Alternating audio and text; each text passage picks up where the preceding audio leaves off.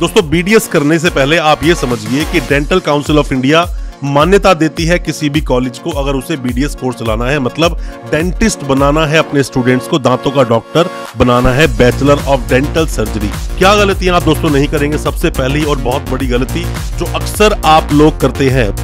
दोस्तों, अपने देश की एक और देखा जाए तो इतनी बड़ी जनसंख्या जो सामने एक प्रॉब्लम की तरह काम करती है, किसी भी देश के लिए एक बहुत बड़ी समस्या होती है इतनी बड़ी जनसंख्या को अच्छी तरह से शिक्षा, न्याय और स्वास्थ्य जैसी सर्विसेज़ को प्रोवाइड करना।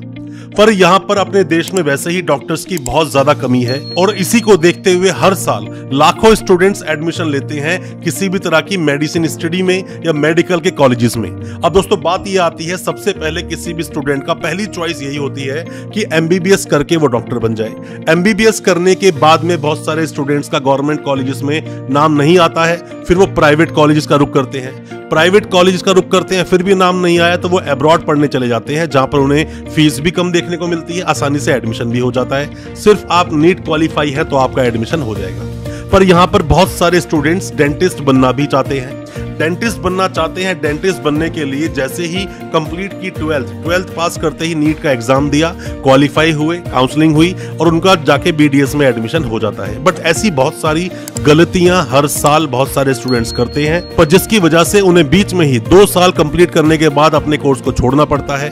कई बार एक साल कंप्लीट करने बाद कोर्स छोड़ना पड़ता है। मैंने तो ये भी देखा है कि तीन साल कंप्लीट हो गए, बाद में बीडीएस को छोड़ दिया, दूसरे कोर्स की तरफ़ अपना रुख कर दिया ऐसा होता क्यों है? ऐसा दोस्तों इसलिए होता है कि पहले शुरू में आपने जब एडमिशन लिया तो कई तरह की जो प्रिकॉशंस होते हैं, सावधानियाँ होती हैं वो आपने नहीं ली और बाद में आपको पछताना पड़ा। आज मैं आपको बताऊँगा, ऐसी वो 10 या 11 गलतियाँ जो आप अक्सर करते हो एडमिशन लेने में। आप अगर नहीं करोगे तो अच्छा कॉलेज भी चूज़ कर पाओगे फ़ीस भी कम होगी, अच्छे से अपनी एजुकेशन कंप्लीट भी कर पाएँगे। ज़्यादा कुछ जानने के लिए बीडीएस में क्या गलतियाँ आपको नहीं करनी है, दोस्तों बने रहिए हमारे इस वीडियो के साथ। नमस्कार दोस्तों, फिर एक बार स्वागत करता हूँ आप सभी का अपने इस यूट्यूब चैनल पर, जिसका नाम है distance and online education in India और मेरा नाम है वीरेंद्र वर्मा। जैसा आप सभी जानते हैं, हम देश विदेश की यूनिवर्सिटीज कॉलेजेस उनके कोर्सेज को एक्सप्लोर एंड रिव्यू करते हैं और आपको बताते हैं सब कुछ जो आप जानना चाहते हैं। दोस्तों बीडीएस करने से पहले आप ये समझिए कि डेंटल काउंसिल ऑफ़ इंडिया मान्यता देती है किसी भी कॉलेज को अगर उसे बीडीएस कोर्स चलाना है। मतलब डेंटिस्ट बनाना है अपने स्टूडेंट्स को, दांतों का डॉक्टर बनाना है बैचलर ऑफ़ डेंटल सर्जरी जो कि डेंटिस्ट एक्ट 1948 का है, उसके तहत ही सभी कॉलेजेस में उन चीज़ों को फॉलो किया जाता है, उन कंडीशंस को अप्लाई किया जाता है। क्या गलतियाँ आप दोस्तों? नहीं करेंगे। सबसे पहली और बहुत बड़ी गलती जो अक्सर आप लोग करते हैं, वो बिल्कुल नहीं करनी है, वो होता है एक्सपोजर का होना। एक्सपोजर क्या है दोस्तों? कोई भी कोर्स आप कंप्लीट करते हैं, किसी भी मेडिकल की आप एजुकेशन को लेते हैं, मेडिसिन से रिलेटेड एजुकेशन आप ले रहे हैं, डॉक्टर बनना आप चाहते हैं तो आपको सबसे पहले एक्सपोजर की ओर ध्यान देना है कि आपका कॉलेज कितना एक्सपोजर आपको दे पा रहा है। मतलब सिर्फ़ ऐसा ना हो कि थ्योरी में ही आपका पूरा वक्त बर्बाद कर दे और उसके पास तो पेशेंट ही नहीं है। मतलब आपको ऐसा एक्सपोजर ही नहीं मिल पा रहा जिससे आप प्रैक्टिकल सीखेंगे। दोस्तों, जब तक आपको प्रैक्टिकली नॉलेज नहीं है, तब तक आप अच्छे से अपने पेशेंट्स का इलाज नहीं कर पाएँगे, वो होना बहुत ज़रूरी है। दूसरा बीडीएस जब आप करते हैं सबसे पहले बीडीएस को अच्छे से आप समझें। क्या समझें? बीडीएस आप डेंटिस्ट बनने वाले हैं। डेंटिस्ट कोर्स करने के बाद में जो आप बीडीएस करेंगे, उसके बाद में क्या स्कोप है आपको पता होना चाहिए कहाँ कहाँ आपकी जॉब लग सकती है, जॉब नहीं लगी तो आप क्या करेंगे? इसके बारे में आपको बहुत अच्छे से पता होना चाहिए। बहुत सारे स्टूडेंट्स गलती करते हैं सब किसी के बोलने पर जब एमबीबीएस में एडमिशन नहीं हुआ तो बीडीएस कोर्स कर लेते हैं, बाद में पछताना पड़ता है, आपको पता होना चाहिए। बहुत अच्छे से कि बीडीएस के क्या स्कोप्स है बीडीएस में क्या क्या ऑप्शंस आपको मिलेंगे, इस पर हमने वीडियो बनाई है। बीडीएस के क्या स्कोप से आपको हमारे इसी चैनल पर देखने को मिल जाएगी। दोस्तों, अगर ये वीडियो आपको अच्छा लग रहा है तो अभी वीडियो को लाइक करें ताकि हमें और मोटिवेशन मिल सके, हमें प्रोत्साहन मिलता है और अच्छी अच्छी वीडियोस आपके लेकर आने के लिए। और आप अगर पहली बार आए हमारे चैनल पर, अभी चैनल को सब्सक्राइब करें ताकि इसी तरह की एजुकेशनल वीडियोस आप तक पहुँच सके सबसे पहले। नीट को बहुत अच्छे से आप तैयार करें। तीसरा पॉइंट है कि नीट में आप जब एग्ज़ाम देने गए हैं, नीट की बहुत अच्छे से प्रिपरेशन करें। नीट में अच्छे मार्क्स नहीं आते हैं इसीलिए आपको बीडीएस का चयन भी कई बार, कई स्टूडेंट्स को करना पड़ता है। अच्छे से नीट की तैयारी करें, अच्छे आप उसमें अगर मार्क्स स्कोर कर पाए, बहुत अच्छे कॉलेज में आपका एडमिशन दोस्तों हो जाएगा। बीडीएस अगर आप बीडीएस में एडमिशन लेना नहीं चाहते हैं, आपने किसी मजबूरी से लिया क्योंकि आपका एडमिशन एमबीबीएस में नहीं हुआ, अगर नीट में अच्छी तैयारी आप करेंगे तो आपको ये प्रॉब्लम फेस बिल्कुल नहीं करनी पड़ेगी। अब दोस्तों, चौथे पॉइंट की मैं बात करूँगा कि कॉलेज का चयन आप अच्छे से करें। मतलब कि कॉलेज का चयन बहुत ही अच्छे से ठोक बजा समझने के बाद में आपको कॉलेज में एडमिशन लेना चाहिए। सिर्फ़ कॉलेजेस की आप बड़ी बड़ी होर्डिंग्स बड़े बड़े एडवर्टीजमेंट को देखकर एडमिशन ले लेते हैं। ये गलती आपको बिल्कुल नहीं करनी है।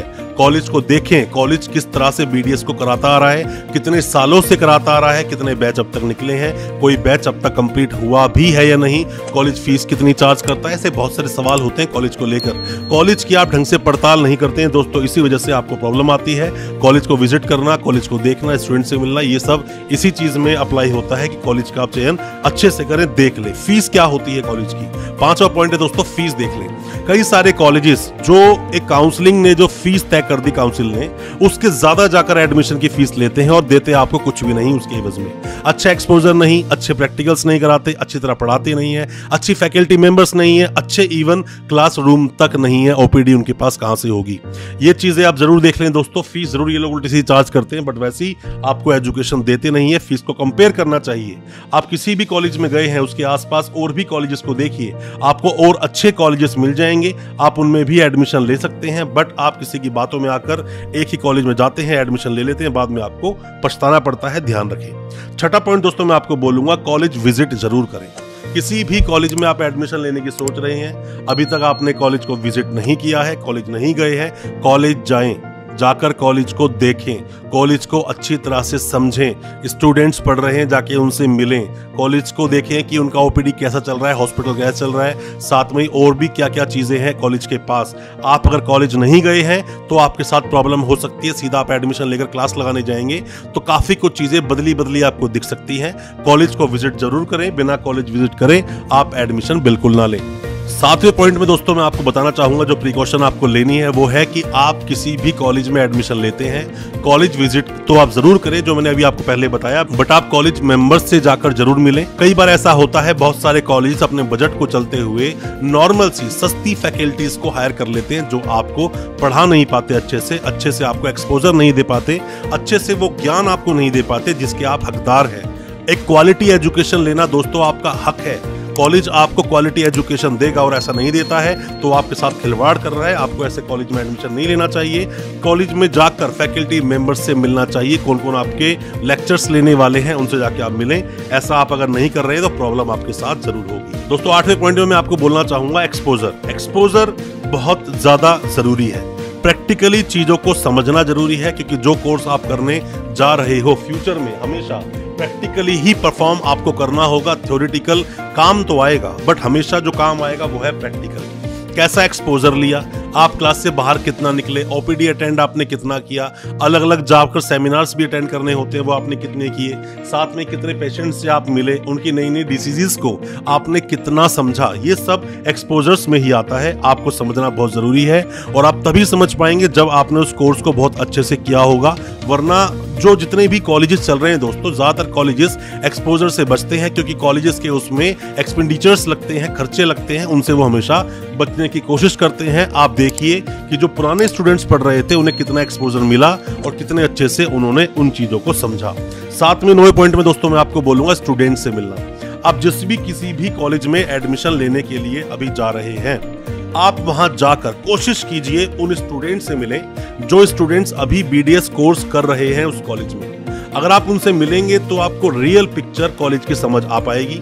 आप रियली में समझ पाएँगे वो कॉलेज कितना दमदार है, जहाँ से आप कोर्स कंप्लीट करने वाले हैं। कहीं ऐसा ना हो कि कोर्स कंप्लीट करने के बाद में सिर्फ़ आपके हाथ में डिग्री रह जाए और बीडीएस के नाम पर सिर्फ़ डॉक्टर तो नाम के आगे लगा है बट आपको कुछ आता नहीं कि दांतों का इलाज करना कैसे है। और आप सामने वाले को ठीक से रिलीफ दे भी नहीं पा रहे हैं। साथ में दोस्तों लास्ट पॉइंट मैं आपको बताना चाहूँगा कि लास्ट में पॉइंट बताते बताते मैं कुछ चीज़ें आपको एडवाइस भी करूँगा कि दोस्तों, आप जब एडमिशन लेते हैं, किसी भी कॉलेज में आपने एडमिशन लिया बीडीएस करने के लिए आप गए हैं। उसी कॉलेज में एमबीबीएस भी चलता है बीएमएस भी चलता है बीडीएस भी चलता है बीपीटी कोर्स भी करवाते हैं नर्सिंग भी करवाते हैं तो इसका मतलब हॉस्पिटल अच्छा खासा होगा। आपको एक्सपोजर अच्छा मिलेगा प्रैक्टिकली आपको बहुत कुछ सीखने को मिलेगा। ऐसे कॉलेज का चयन आपको बिल्कुल करना चाहिए। अलग अलग स्टूडेंट से इंटरेक्शन होता है, बहुत कुछ दोस्तों आप जान पाते हैं। अलग अलग तरह के पेशेंट्स मिलते हैं। पेशेंट्स मिलते हैं पेशेंट्स पर काम करने को आपको मिलता है। अल्टीमेटली ये एक प्रोफेशन एक्सपर्टीज का है। जब तक आप एक्सपर्टाइज नहीं लेते हो अपने इस प्रोफेशन में, चीज़ों को समझते नहीं हो, जब तक आप इस प्रोफेशन में नाम नहीं कमा पाओगे, अपनी अच्छी परफॉर्मेंस नहीं दे पाओगे, उसके लिए बहुत सारे अलग अलग तरह के पेशेंट्स को मिलना ज़रूरी है। अलग अलग तरह के जो हॉस्पिटल चलते हैं, वहाँ पर आना जाना आपका होगा तो आप बहुत कुछ जान पाएँगे। दोस्तों, मैं उम्मीद करता हूँ, जो मैंने आपको 10-11 पॉइंट्स जो आपको आज बताए हैं, क्या प्रिकॉशंस आपको लेनी है बीडीएस कोर्स करने में, वो आपको समझ आई होगी दोस्तों। कोई भी किसी भी तरह की जानकारी आप चाहते हैं एडमिशन को लेकर या कोई भी असिस्टेंस आप चाहते हैं, आप हमें कमेंट बॉक्स में जाके कमेंट ज़रूर करें या व्हाट्सएप करें, हो सकता है हम आपकी उसमें कोई मदद कर सकें। अच्छा लगा आज का वीडियो, हमारे चैनल को अभी सब्सक्राइब कर दें साथ में लगा बेल आइकन ज़रूर दबा दें, ताकि इसी तरह की एजुकेशनल वीडियोस आप तक पहुँच सके सबसे पहले। बहुत बहुत शुक्रिया, दोस्तों, धन्यवाद। हमारे इस वीडियो के साथ बने रहने के लिए।